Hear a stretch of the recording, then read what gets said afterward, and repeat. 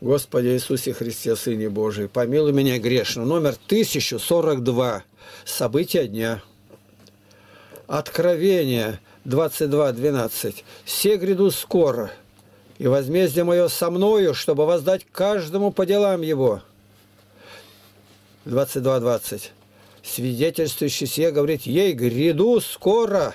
Аминь! Ей гряди, Господи Иисусе!» За 23 октября 2018 года.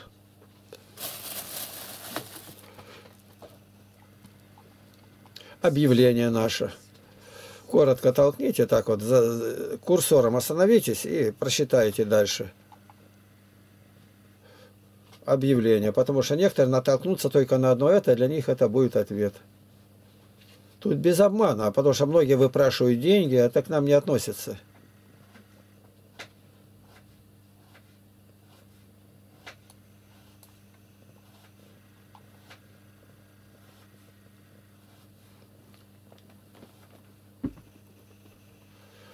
Ну и дальше я пишу письмо. Тут Сергей Александрович Новиков много знает очень и мне помогает. И...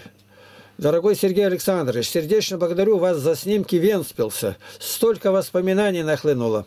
И что насчет прямой трансляции? Я же ничего тут не соображаю, но молюсь и сердцем чувствую, что мне нельзя этого делать с моего тут компьютера. И тут позвонил помощник, хорошо разбирающийся во всем этом, и говорит, что за этими трансляциями якобы почти охотятся недруги.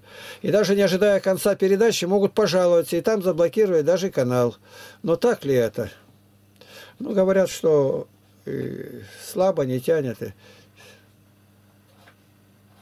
Он отвечает, насчет жалоб – на содержание трансляции, мне думается, не все так страшно. Пожаловаться ведь могли бы и на любой из ваших роликов, хотя именно в Барнауле уже судили женщину за оскорбление чувств верующих. Вот. Трансляция, наверное, хорошо бы пригодилась для чтения событий дня и для выступлений, подобных тем занятиям, проводимых вами в университетах и училищах. Фактически это почти полное подобие радиопередачи. Такой опыт у вас тоже имеется.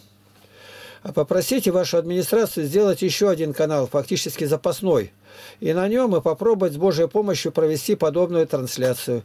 Если случится какая неувязка на основном канале, то это никак не отразится. И дальше пишет мне одна письмо Екатерина. «Мир вам, дорогая наша сестра Екатерина, голубка, все прочитал и присланное себе скачал». И как вы говорили, чтобы это для личного ознакомления, то я все скинул в архив. Относительно всего написанного, никаких ошибок в вашем состоянии, отношениях не вижу. И благодарю за откровенность и ревность о спасении своей души, ближних наших, и рассуждениях, и сожалениях. Я тут полностью с вами. Вставай всегда в 4.40, других благословений не ищи и что перед крещением вам говорили о духовничестве, все это может быть и правильно, и невыполнимо, и часто во вред. Почему? Ты и так видишь.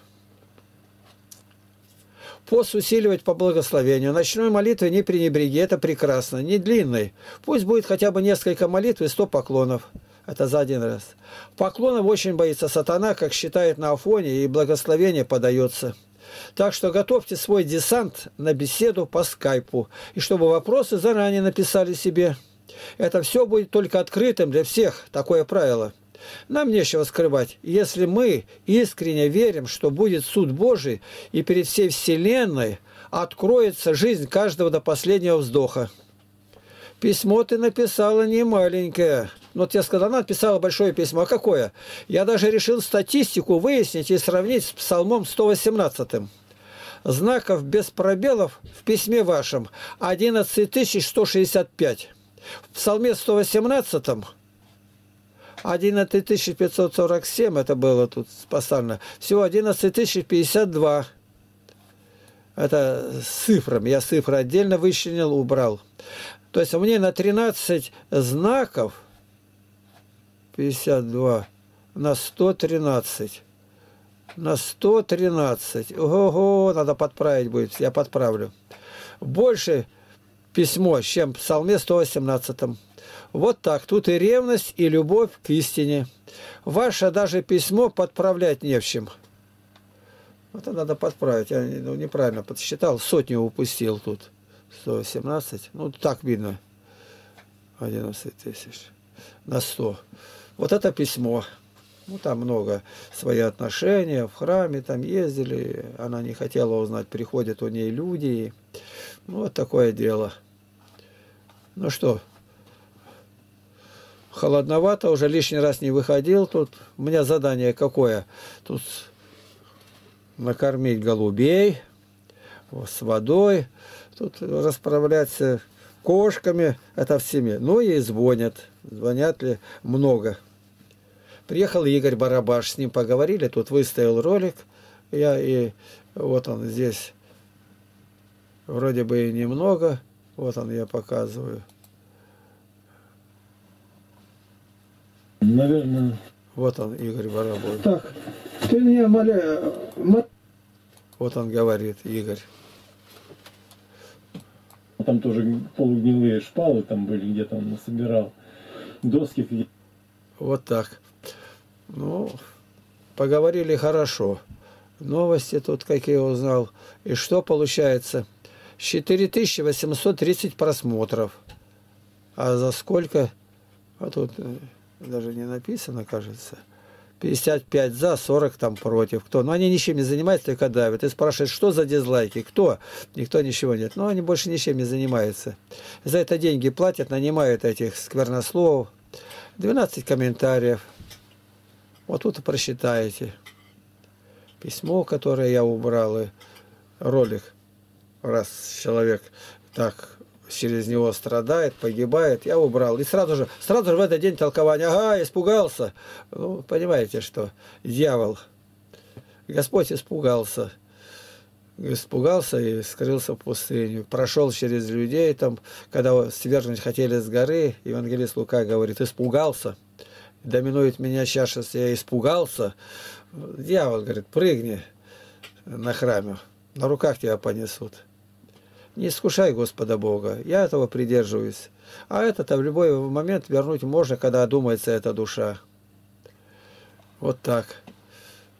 Игорь тут своих встречаю. Ну, время э, занято. Да еще семь раз э, помолиться в день надо. Семь раз это каждый один раз это три святое, сто поклонов и своими словами. И день настолько занятый, что даже ну, времени совершенно нет.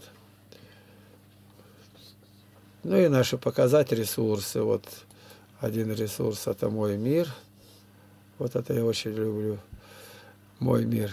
Там, где я в шапке, тут можно переписываться, а где я с голубем, там просто запасной. И вот так. Наш форум православный. Ну, а это православный видеоканал «Открытым оком» о свете Библии Игнатий Лапкин. Ну и вот э, во свете Библии, православный библейский сайт. я искренне считаю, что равных ему нету по наполняемости своим богатством. Нету. Если кто знает, пусть покажет. 4124 ответа подробных. Книги, 38 моих книг, звук и видео, фильмы про нас снятые. И тут чего только тут нету. Вот так. Считаю, что на этом все сегодня.